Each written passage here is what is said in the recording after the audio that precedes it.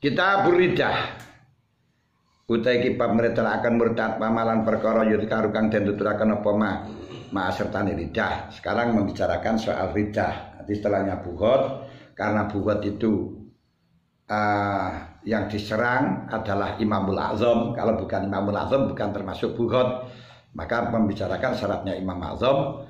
Nah, kemudian di antara buhot itu ada kalanya yang sampai murtad.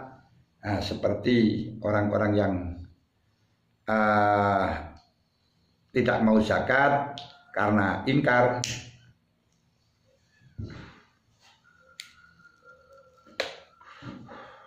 sebagaimana Abu Bakar telah merangi kepada orang-orang yang murtad.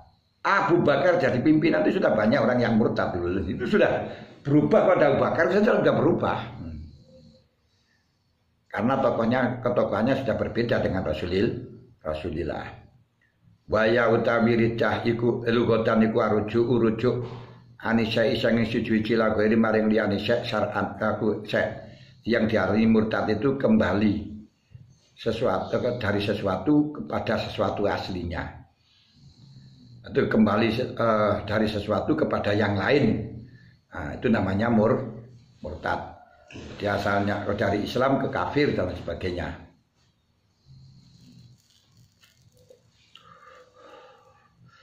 Juga kadang dikatakan dengan cara majas lugawi yaitu mencegah untuk memenuhi hak demurtad seperti orang-orang yang mencegah mengeluarkan zakat pada zaman Sidina Abu Bakar As-Siddiq dengan dalih zakat itu hanya diberikan kepada Rasulullah dengan dalil dasar ayat innas aku wasalli alaihim inna salata sakanun.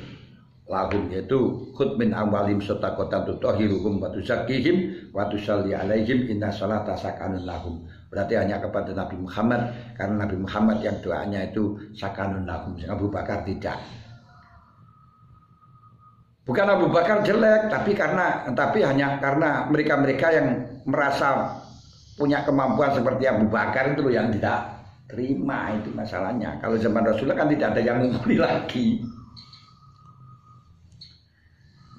Yang disebut dengan murtad itu uman Megoti wong yasiku kang sapa tolaku tolake man al Islam ing Islam.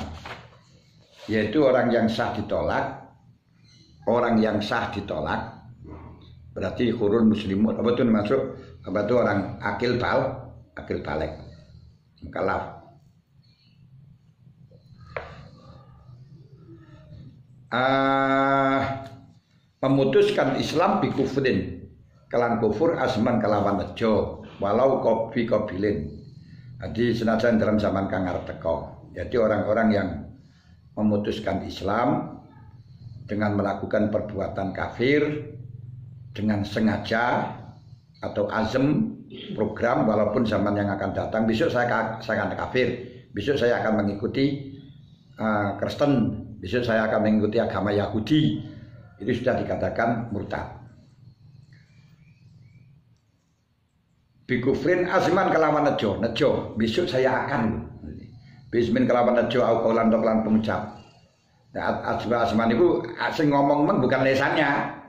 Jadi nggak asman kok. Nejo kelawan nejo, nejo ngelakoni kekufuran. Besok saya akan, tapi nggak diucapkan. Kalau yang diucapkan berarti kaul, kaulan au kaulan atau ucapan. Nah, au fi'lan atau penggawian.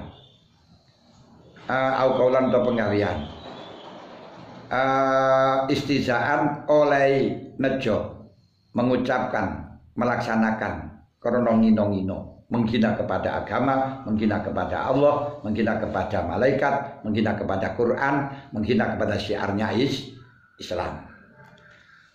Kalau dijabarkan penyebab murtad sebagaimana yang ada di dalam Sulam Taufik yaitu adalah semua itikot azam atau perbuatan perkataan atau perbuatan yang menunjukkan pelecehan terhadap agama, terhadap Allah, eh, terhadap Allah, terhadap Rasulullah, terhadap malaikat, terhadap syiarnya ada hukum Allah, syiarnya Allah, kitabnya Allah.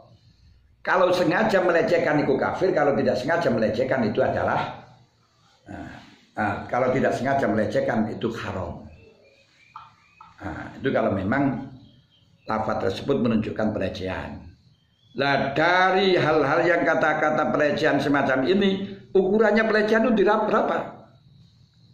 Ukuran pelecehan dikembalikan kepada huruf. Yaitu sesuatu yang disebut pelecehan itu ya di, eh, menurut hurufnya, menurut orang-orang yang ahli, orang yang punya akal normal, maka itu disebut dengan pelecehan. Kalau tidak, ya tidak. Segala hukum yang dikembalikan kepada huruf ini akan terjadi polemik akan terjadi perbedaan pendapat antara satu dengan yang lain. Makanya dalam masalah murtad ini sensitif seperti seperti yang dikatakan oleh uh, uh, siapa uh, Gus Muafik bahwa Rasulullah itu ya dulu kecilnya rembes. Lalu apa pelecehan apa tidak? Itu menurut orang-orang yang tidak suka langsung itu ada pelecehan. Akhirnya dianggap murtad. Wah, yang sampai heboh ada karu-karuan. Termasuk yang dikatakan oleh Ahok. Dan kalau Ahok memang sudah kafir. Uh, mengatakan jangan tertipu dengan uh, kata ulama dengan ulama yang menggunakan dalil surat Maidah. Nah, itu sama sekali tidak ada urusannya Ahok untuk melecehkan nggak ada, misalkan melecehkan. Hanya kampanye jangan terpertancing dengan kata ulama yang menggunakan dalil pakai surat Maidah yaitu tentang tidak diperbolehkannya orang non Islam menjadi pimpinan. Akhirnya ya penjara.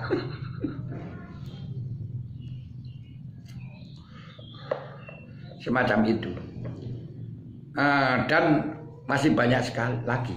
Padahal kata-kata jangan tertipu itu bukan berarti mesti melecehkan masih melihat di intonasinya bisa dilihat dari sisi korenahnya. Syekh Hasan Basri saja mengatakan sebagaimana yang telah dinukil oleh Imam Ghazali dalam kitab Isya, la yahurunaka qaulumun almarhumah man ahabba. Padahal hadis sahih. Jangan tertipu kamu dengan kata-kata seseorang akan dikumpulkan dengan orang yang dicintai. Sehingga kamu hanya modal cinta begitu saja. Kenapa? Fa inal yahudi qad ahabba nabiyakum ban sadidan fa inna nasara qad ahabba nabiyakum ban sadidan. Apa ayat ayat juma'una fi uh, ayat ayat juma'un ayat juma'una ma'ahu Orang Yahudi mencintainya kepada nabinya luar biasa sampai pada bulan Asyura melakukan puasa karena syukur atas keselamatan nabinya yang kemudian Rasulullah mengatakan anak aku bi Musa. Yaitu yang kemudian disebut dengan poso Asur, poso Asyura. Orang Nasrani orang Nasrani cintanya kepada nabinya luar biasa, yaitu Yesus. Apa mereka akan dikumpulkan? Tidak, karena hanya dengan modal cinta saja. Loh, sehingga kalau dipotong apa yang telah dikatakan oleh Syekh Hasan Basri layakuruna kuluman almaruman ahabba. Jangan tertipu dengan hadis yang mengatakan bahwa seseorang akan berkumpulkan dengan orang yang dicintai. Nah ini seakan-akan akan melecehkan. Tapi tujuan beliau tidak dan tidak ada korena untuk melecehkan semacam itu. Loh, yang semacam ini.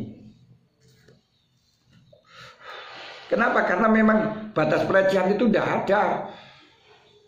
Hanya kembalinya kepada huruf. Alih bahasa.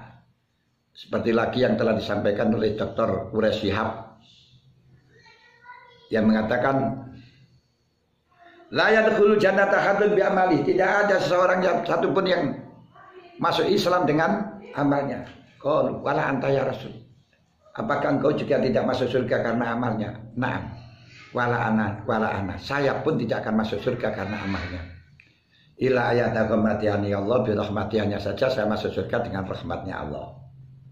Loh, dipotong dengan kata-kata saya juga tidak masuk surga karena amalnya. Dianggap bahwa Nabi Muhammad tidak dijamin masuk surga sehingga dianggap fasik, dianggap kafir wah semacam ini jangan ya zaman sekarang ini kita hati-hati yang macam itu. Masya Allah.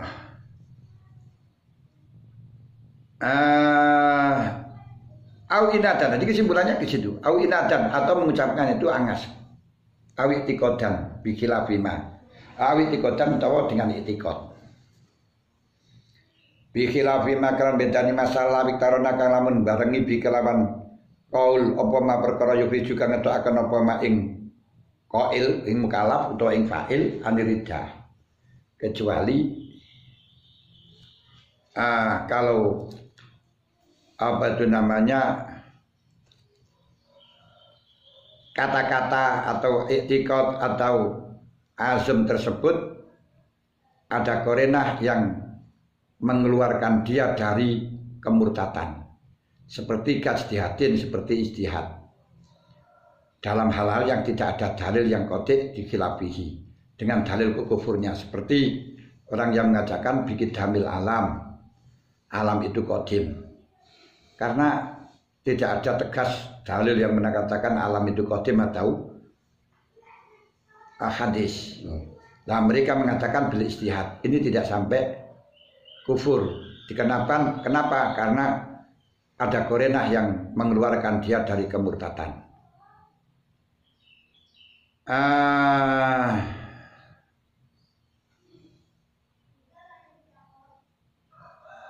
nah, bagaimana kalau di atas katanya mujarab itikad saja kafir? Betul, mujarab mujarab itikad itu kafir kalau tidak didasari dengan ijtihad.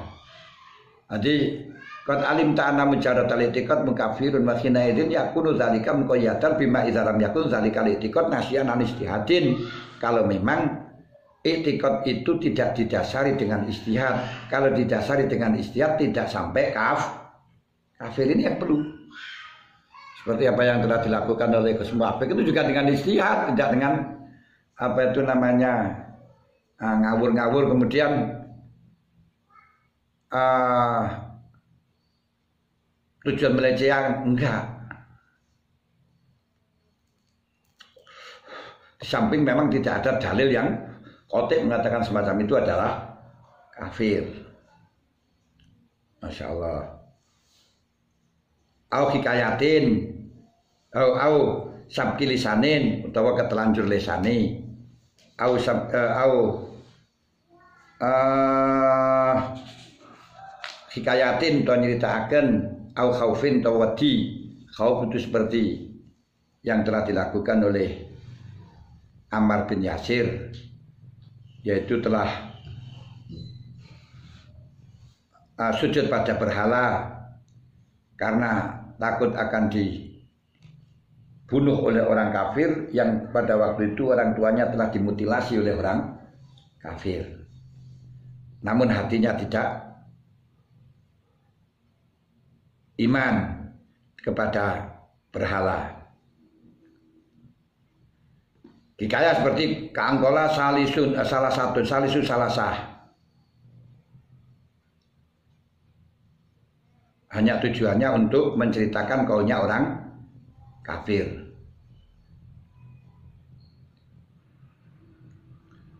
Lakin kola tapi di Dawud Abdus Salam. Antau teman suni wong kuyu azharu dan takzir sapa wong. Tapi orang yang mengatakan semacam itu perlu ditakzir juga. Ini eh hikayah. Duduk. Wakata kaulul wali. Lan kaya mengkono orang murtad. Kaulul wali pengucapi wali khala gaibati dalam tingkah gaibi wali saking awak dhewe sampai makhluk dan sawai dhewe karena yang diketahui hanya Allah saja. Nah, di Allah, Allah, Allah, Allah. Seperti halaj. Beda dikanya halaj gak ada halaj. Yang ada adalah Allah. Ini Allah gak ada Allah. Yang ada halaj. Ya memang apa? Ya memang Allah itu tidak mutasil dengan kita tidak munfasil dengan kita. Allah itu tidak gandeng dengan kita dan tidak tidak ya, ketemu dengan kita kita itu bukan Allah dan bukan selain Allah Jadi kita selain Allah berarti Allah di selain kita enggak. Allah tidak gandeng dan tidak pisah. Ah, yang kemudian akhirnya ditakzir sampai dibunuh kalau Al Halaj bin Mansur. Hmm. Ah, yang mengatakan anallah lakin kalau Abdul Salam anau temasuni wali kuyu azharu dan takzir sebuah wali. Nah, makanya kalau dengan negara semacam ini akhirnya orang-orang yang malah tingkatan wali bisa dibunuh, bisa di uh, takzir repot itu. Eh pala yutakayatu makaratin kaya tiap politisa wa ma utifa alaihi bil qaul. Fala yutakayu isya wa malan perkara utifa kang den atopaken aling isya bil qauli kan pengucap setting tujuannya istiza itu tidak hanya istiza dan inadan atau itikodan itu tidak harus dengan kaul. Wa in alhamau senajan awe paham ing kaul apa kalamul anu uh, bil kaul apa kalamul asli. Jadi mengucap aku kata-kata istiza istiza inadan atau itikodan ini tidak harus dengan ungkapan akan tapi perbuatan pun juga sama. Walaupun dalam kitab aslinya seakan-akan memberi ilham memberi asumsi bahwa yang uh, apa itu tujuan istiza itu adalah kaul. Karena fisone al maksud min qouli ta'ala uh, son son ullahi au nabi nabiyin. Dawa yes. uh,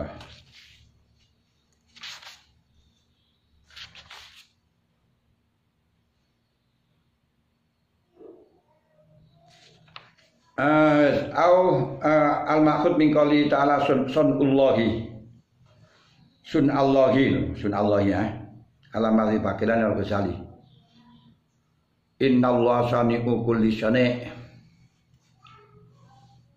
au au uh, mengatakan min qouli ta'ala kana fi sani kaya oleh nafi akan sani nafi akan bahwa Gusti Allah tidak menjadikan. Au nafi nabi to nafi akan nabi Allah tidak menjadikan nabi Au takzibi itu akan nabi. Gak percaya nabi kalau bohong kepada nabi beda lagi kalau bohong kepada nabi tidak kafir. Orang yang ngapusi pada nabi ini pun gak kafir cuman dosa besar. Tapi ini gak percaya dengan nab, nabi.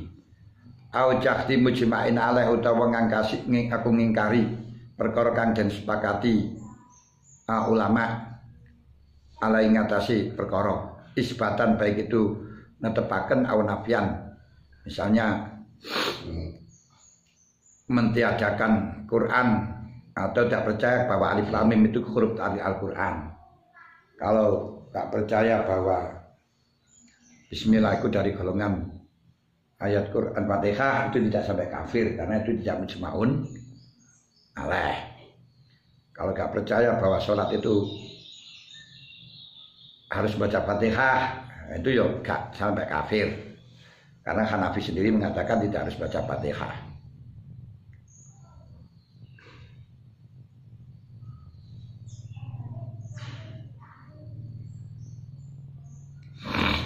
eh, atau isbat ya, isbat uh, mengatakan sesuatu yang bukan Quran itu masuk Quran Bikoli maklumat bidin tapi hari itu barang yang sudah diketahui dalam agama daruratan kalian mesti bila udur tanpa udur. Nanti termasuk gak percaya wajibnya sholat, gak percaya wajibnya zakat. Kalau gak percaya wajibnya zakat ijaroh itu gak kafir. Karena itu bukan termasuk mujma'un alaih atau mujma'un alaih namun khafi samar seperti bintu ibnin kalau bersama dengan bintu mendapatkan seperenam ini mujma'un alaih tapi kita nggak percaya nggak sampai kafir karena apa karena itu masalah yang samar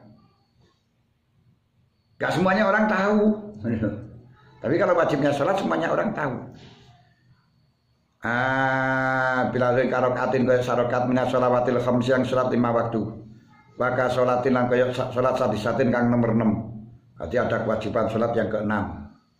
Nah ini namanya menetapkan perkara yang tidak tidak ada. Bikilafi jahdi mujma'in aleh kalan bedani ngingkari perkara den sepakati ulama oleh apa aleh perkara. Layak ribu kang orang ngerti ing mujma'in aleh sapa ilal khawas.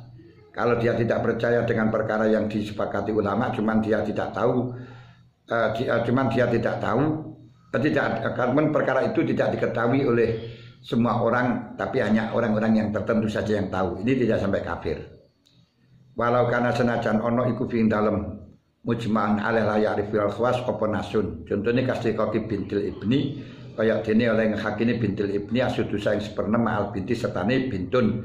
Bintu ibni kalau bersamaan dengan bintun dapat seperenam karena takmilatan lis sulusen. Walaupun ada nasnya dan walaupun mujma'un alaih ini tidak sampai kafir dikarenakan hal itu yang mengetahui hanya orang-orang khusus wong sing ngaji tidak semuanya orang tahu. Orang awam nggak tahu ah wa bi kelapil ma'dzurian kelan bedani wong kang den uduri kaman kaya wong kang bakang par kepaduhu mangsane man bil Islam termasuk orang yang baru masuk Islam sehingga melakukan sesuatu yang menunjukkan pelecehan. Uh, tapi tidak ada kesengajaan ini gak masalah.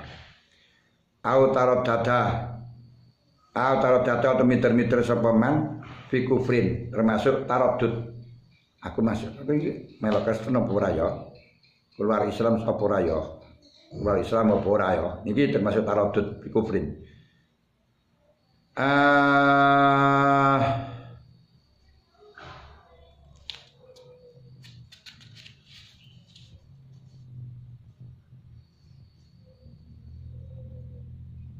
wa ilqa umushafin wa ilqa umushafin nang kaya dene.